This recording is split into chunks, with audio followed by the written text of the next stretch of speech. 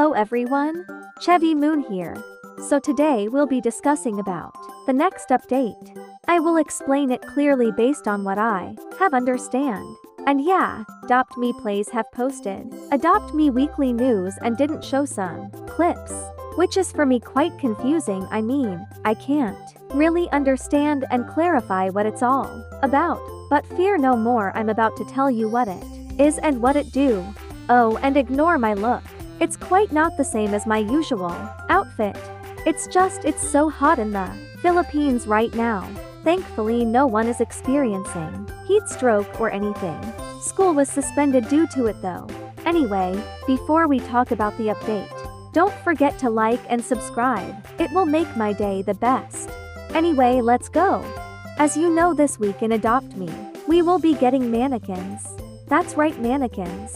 This Friday, or Saturday if you live in G-Mount 8 countries. The mannequins will be added into the furniture catalog and now the mannequins are available to display. The mannequins looks like this more likely. Well I changed it into my avatar. This is my old Chevy outfit and that's the only thing I could add lol. As you can see it's just standing there just like in boutiques. But little do you know the mannequins has a really great advantage to us Adopt Me players. So you will add your desired outfit. It could be whatever you want though. Then players could actually buy the outfit you placed in your mannequin. It's up to you on how much it will cost. However, the price has a limit too, so it won't be overpriced. Once a player purchased the outfit from the mannequin, the outfit that they bought will be saved in their dress up menu. That's just great like literally. We could now sell our outfits, whatever or however we want. Now you could clone other players by buying their mannequin outfits. I'm not actually a fashionista, so I feel like I'm not gonna sell any outfit. I don't want to embarrass myself for it lol. But confidence is the key guys. You guys should probably try selling some outfits to earn extra bucks. I really do hope people won't add tons of mannequins in their houses it will be really creepy. Imagine going into a small house filled with mannequins with the same outfits. It's seriously hilarious. So the mannequin is like a pet display though, or any other displays.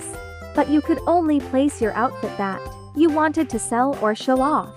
The difference between them is that you can't buy the pet from a pet display Unlike the mannequin, you could buy the outfit that is in the mannequin. I do hope Adopt Me will add mannequins for pets and let us buy.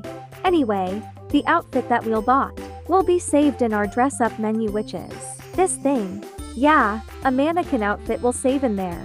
I just somehow wish the mannequin for pets will happen too. So there will be no scamming that is going to happen when it comes to selling pets for bucks. I don't know if selling pets for box is legal.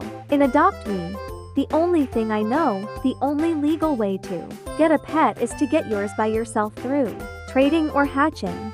So this is quite a small update. Adopt Me just added something. I do kind of like a new update. All we need now is a boutique where we could place our mannequin freely. Plus, this might develop our skills and dress up. I mean improve somehow. So yeah, that is all for today's video guys. What is your thought about this next update? Share it in the comment section below. Anyway, thank you so much for watching, and I hope you enjoyed watching as well. Comment down mannequins if you stayed for a chance to be in the shoutouts in my next video. I know this is quite a short video, because I have said yesterday I'll be doing a super grind. But however, woke up with a vertigo and now, I feel like my world is shaking for some reason. But still I'm taking a rest though it's like a week of us with no classes. Which is woohoo lol.